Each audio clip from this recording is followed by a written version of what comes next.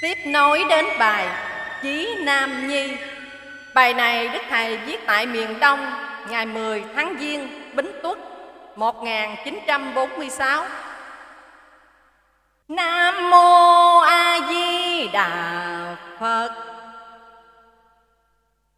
Nam Nhi mang chí ca, bao tâm lòng sắc đa, thương giống nồi dẹp ba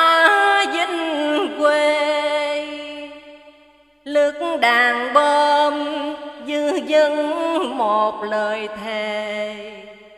Tàn sát hết quân thù xâm lược tranh độc lập tự do cho nước cho dòng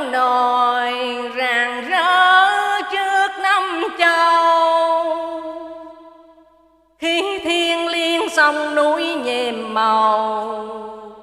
Ung đúc giống anh hùng dạng bốn bề. Gương sáng ấy soi chung hầu thế.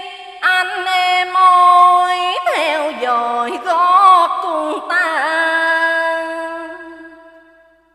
Ra tay quét sạch sang hà